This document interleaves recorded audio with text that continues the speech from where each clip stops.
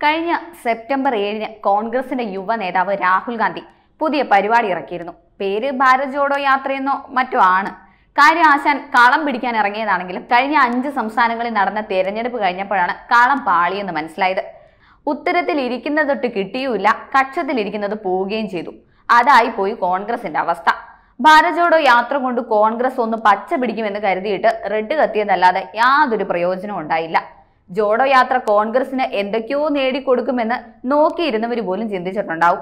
ഈ അഞ്ച് സംസ്ഥാനങ്ങളിൽ നടന്ന തെരഞ്ഞെടുപ്പ് കഴിഞ്ഞതോടെ കോൺഗ്രസിന്റെ പ്രതീക്ഷ തകരുകയും പാമ്പ് മാളത്തിൽ ഒളിക്കുന്നത് പോലെ രാഹുൽ ഗാന്ധി കയറി ഒളിക്കുകയും ചെയ്തു. അതിനുശേഷം ദേ ഇപ്പോഴാണ് ആശാൻ തല പൊക്കുന്നത്. ഒരു ഭാരത് ജോഡോ യാത്ര കൊണ്ട് മാറ്റം ഒന്നും സംഭവിക്കാത്തത് കൊണ്ടാണോ ഇനി ഭാരത് ജോഡോ യാത്രയുടെ രണ്ടാം ഘട്ടം തുടങ്ങുന്നത്? എന്നറിയില്ല.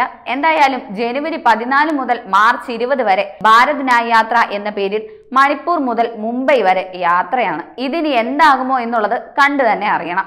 കന്യാകുമാരി മുതൽ കാശ്മീർ വരെ നടത്തിയ ആദ്യ യാത്രയ്ക്ക് ശേഷം രാഹുൽ ഗാന്ധി കിഴക്ക് നിന്ന് പടിഞ്ഞാറോട്ട് യാത്ര തുടങ്ങുമെന്ന് കോൺഗ്രസ് പ്രവർത്തക സമിതി അഭിപ്രായപ്പെട്ടിരുന്നു. കിഴക്ക് നിന്ന് പടിഞ്ഞാറോട്ടായാലും തെക്ക് നിന്ന് വടക്കോട്ടായാലും എന്റെ പൊന്നു രാഹുലെ അന്നെ കൊണ്ട് കൂട്ടിയാ കൂടൂലടാവേ എന്തായാലും ഇതിന്റെ അടിസ്ഥാനത്തിലാണ് ലോക്സഭാ തെരഞ്ഞെടുപ്പിന് മുമ്പ് യാത്ര നടത്താൻ A I C C തീരുമാനിച്ചതത്രേ.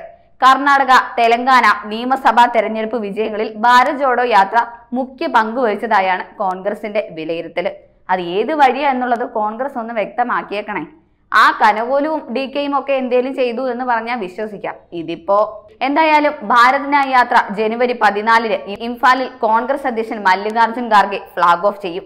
Manipur Nagaland Assam Meghalaya Bengal Bihar Jharkhand Odisha Chhattisgarh Uttar Pradesh Madhya Pradesh Rajasthan Gujarat എന്നിവിടങ്ങളിലൂടെ ആറായിരത്തി ഇരുന്നൂറ് കിലോമീറ്റർ സഞ്ചരിക്കുന്ന യാത്ര മഹാരാഷ്ട്രയിൽ അവസാനിക്കുകയും ചെയ്യും. പതിനാല് സംസ്ഥാനങ്ങളിലെ എൺപത്തഞ്ച് ജില്ലകളിലൂടെ യാത്ര കടന്നുപോകും. ഇനി ഇതേക്കുറിച്ച് A I C C general secretary K C Venugopal എന്താ പറഞ്ഞേക്കുന്നത് നോക്കാം. കന്യാകുമാരി മുതൽ കാശ്മീർ വരെ നാലായിരത്തി അഞ്ഞൂറ് കിലോമീറ്റർ സഞ്ചരിച്ചാണ് രാഹുൽ ഗാന്ധി ഭാരത് ജോഡോ യാത്ര നയിച്ചത്. ഇന്ത്യൻ രാഷ്ട്രീയത്തിലെ ചരിത്ര യാത്രയായിരുന്നു അത്.